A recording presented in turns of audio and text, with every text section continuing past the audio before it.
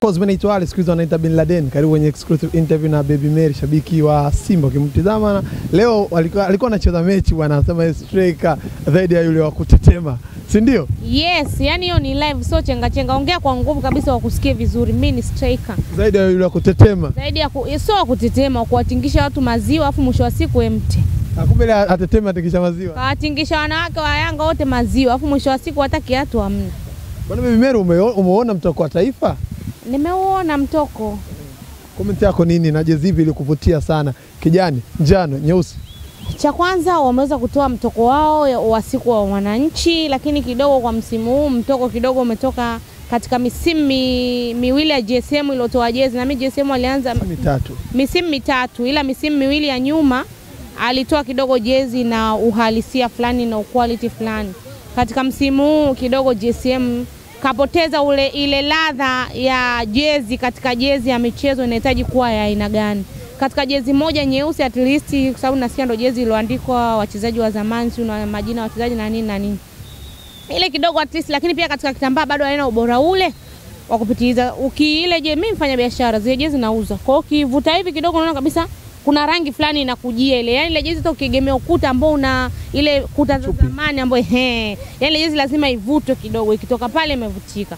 Kwa msimu huu walijitahidi, wali walijitahidi, walikuwa wana malengo fulani labda ya kusema, nikisikiliza katika taarifa zao walikuwa wanasema ile kama ile jezi ya kijani ilikuwa inaingia katika masuala ya kihistoria, labda waonyeshe mm Mhm, royal tour ya mama, lakini sasa niingie labda niseme kitu kimoja kwamba pengine designer wao ameweza kuangusha, yani amepitiliza katika vile vitu, akaingia katika jezi, yani ikawa mwisho wa siku haina tena muonekano.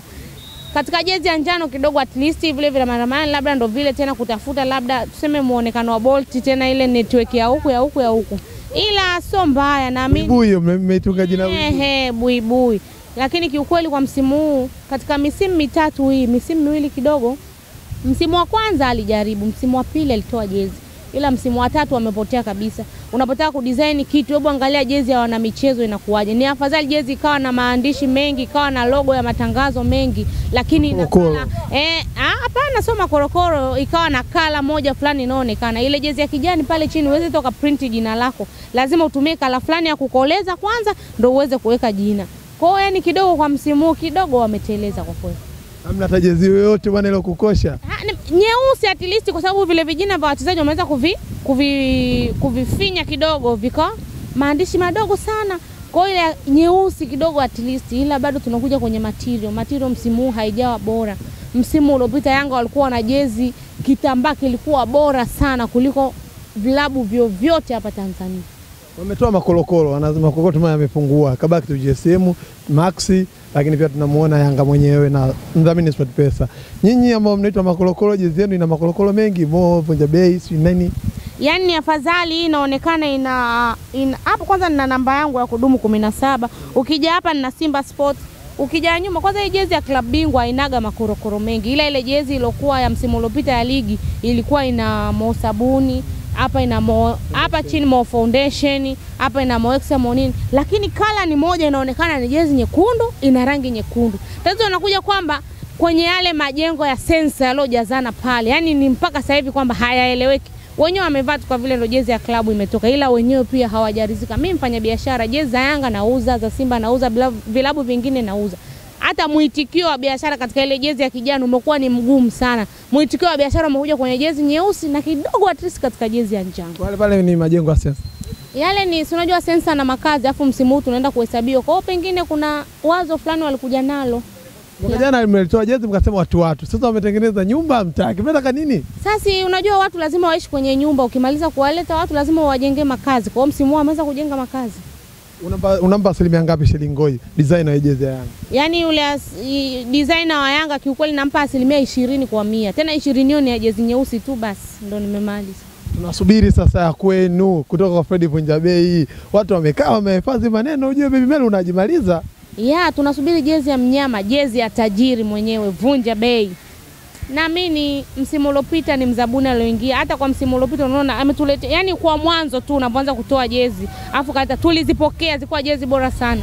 Katika msimu uliopita hamna jezi bora kama jezi nyeupe, ilikuwa jezi moja nzuri na kupendeza. Afu pili hamna jezi iliyovutia kama jezi iliyoenda kuchezwa Mapinduzi Cup na Azam Sport Federation, ilikuwa jezi nzuri sana, kitambaa chenyewe quality.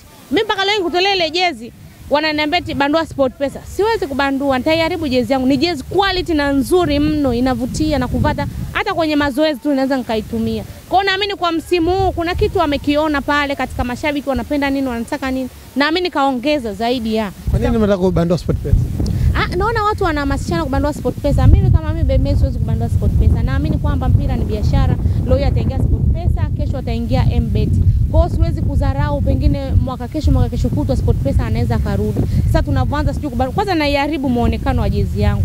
Jezi ilitengenezwa quality ya mdhamini SportPesa. SportPesa kamaliza mashindano, nachotakiwa kujihamasisha mimi ni kununua jezi mpya ya Mbet niweze kuwa na jezi zote za msimu ujao ili niweze kumsapoti mdhamini wangu mpya, lakini sio kukaa chini na kubandua SportPesa ile jezi nikaiweke MBET. huo utakuwa sio ushabiki, bali ni ushabiki maandazi. Unajua siku zote oya oya, lolote ile analoliwaza nataka alifanye, ila kwa mimi kama mimi mwenye akili zangu timamu na ninaujua mpira na nautambua na naelewa kwamba mpira ni biashara, siwezi kufanya tukio kama hilo la kijinga.